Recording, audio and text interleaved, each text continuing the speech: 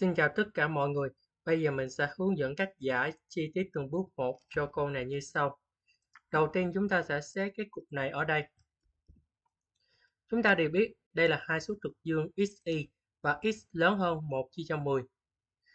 Như vậy chứng tỏ là cái này, cái này và cái này đều thỏa điều kiện hết. Như vậy chúng ta không, không cần phải đặt điều kiện nữa. Tại vì đề đã đặt điều kiện sẵn cho mình rồi. Tiếp tục Bây giờ chúng ta sẽ có công thức như sau. LNA cộng LNB cộng LNC thì chúng ta sẽ có LN của A nhân B nhân C. Đây chính là log của số 10. Như vậy số 1 này mình sẽ đổi thành log 10. Tại vì log của số 10 của 10 ra số 1.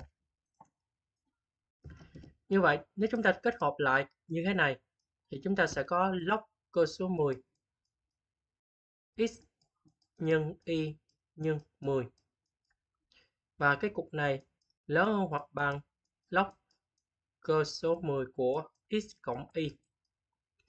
Như vậy trong trường hợp này, mình sẽ có 10xy lớn hơn hoặc bằng x cộng y. Như vậy mình sẽ đẩy cái cục này sang bên trái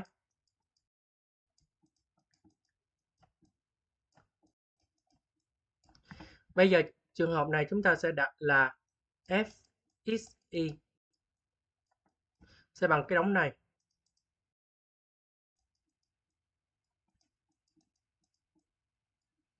Và GXY sẽ là cái cục này.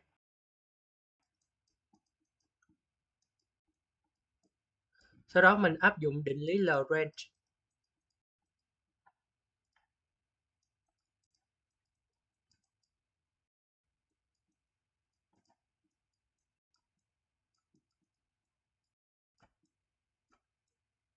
Như vậy, chúng ta sẽ có công thức như sau.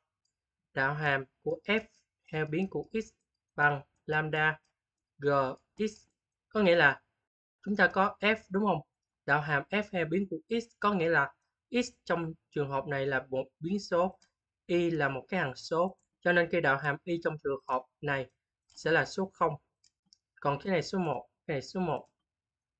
Còn bên đây, chúng ta sẽ có fi lambda gi thì chúng ta đạo hàm cái cục này bằng 1, cái này bằng 1, tuy nhiên x sẽ bằng 0.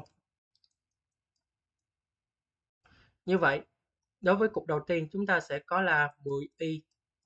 Tại vì đạo hàm x chúng ta sẽ có số 1, cục này cũng có số 1. Như vậy chúng ta có trừ 1. Còn y là hằng số sẽ bằng hằng số 0. Nhưng với lại lambda gx như vậy chúng ta đạo hàm chỉ có x ở đây thôi, chúng ta sẽ có số 1. Tuy nhiên đối với y sẽ thành số 0. Cục thứ hai, chúng ta sẽ có là 10. Tại vì đạo hàm y rồi, chúng ta sẽ có x. Còn này có y là số 1. Còn bên trên, chúng ta đạo hàm g he biến của y. Như vậy cái cục này sẽ hành số 1. Như vậy chúng ta sẽ có số 3 ở đây. Còn đây là x, sẽ hành số 0.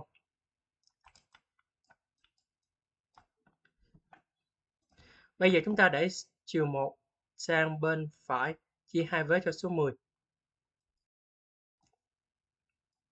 Như vậy chúng ta sẽ có y sẽ bằng lambda cộng 1 chia cho 10. x sẽ bằng 3 lambda cộng 1 chia cho 10. Sau khi chúng ta có x và y rồi, chúng ta sẽ thế vào cái phương trình này.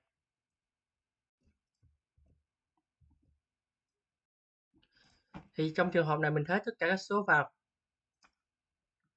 Thì chúng ta sẽ có là 10 nè, lambda cộng 1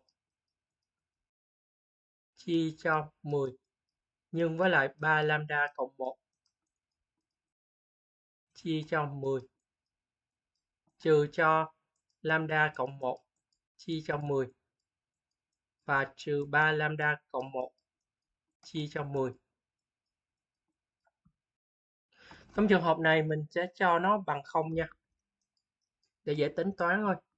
Bây giờ chúng ta rút gọn lại hết tất cả, thì chúng ta sẽ có 10 chia cho 10 như vậy ở đây chúng ta sẽ có số 10 hết. Như vậy chúng ta sẽ có lambda cộng 1 nhân với lại 3 lambda cộng 1 trừ lambda, trừ 1 trừ 3 lambda, trừ 1 bằng 0. Thì cục này chúng ta nhân vô thì chúng ta có 3 lambda bình phương cộng với lại lambda cộng 3 lambda cộng 1.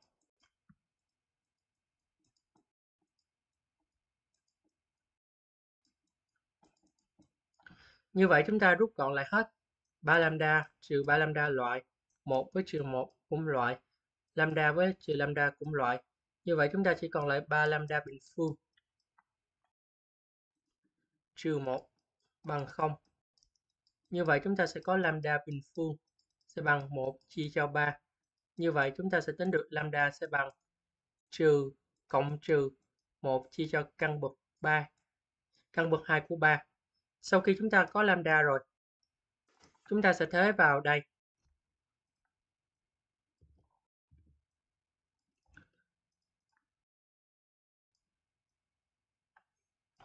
Như vậy, chúng ta sẽ có y bằng trường hợp đầu tiên là lambda bằng 1 chia cho căn 3 thì chúng ta sẽ có 1 chia cho căn 3 cộng 1 chia cho 10